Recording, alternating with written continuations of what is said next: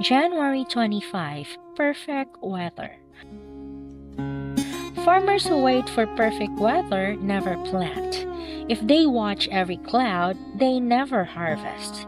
Just as you cannot understand the path of the wind or the mystery of a tiny baby growing in its mother's womb, you cannot understand the activity of God who does all things. Ecclesiastes chapter 11, verses 4 and 5, New Living Translation.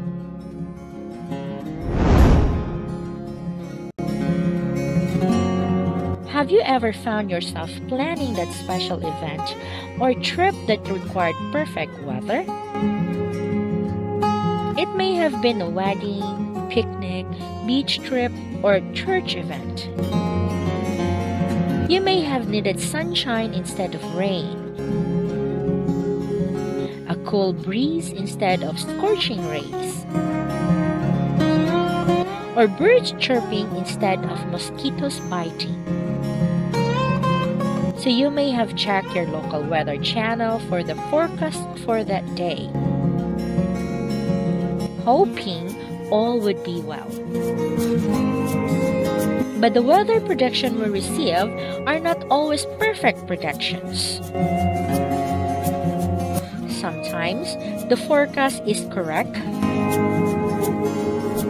while at other times we get worse weather than was predicted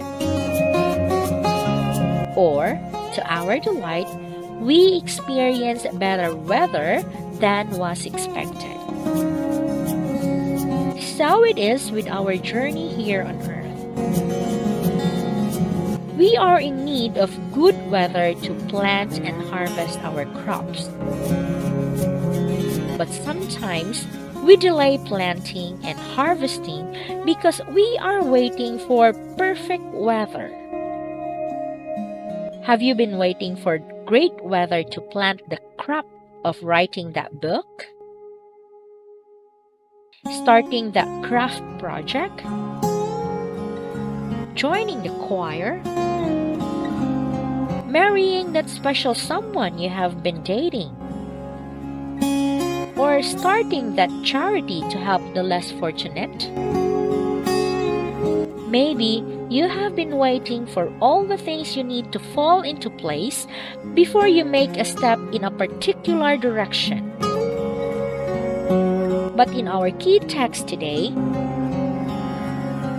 Solomon reminds us that if we wait for the perfect weather, we may never plant, and as a result, we won't have a harvest to reap. Consequently, we cannot be deterred by every cloud that appears to threaten our planting. So, plant your crops despite the cloud of discouragement, lack of funding, or lack of moral support. I challenge you today to ask God to direct you to the things He would have you do so that you can plant the special crops He has given you and reap a bountiful harvest for His glory. It just may happen that the harvest is so bountiful it goes far beyond what you imagine, and with not enough room to receive it.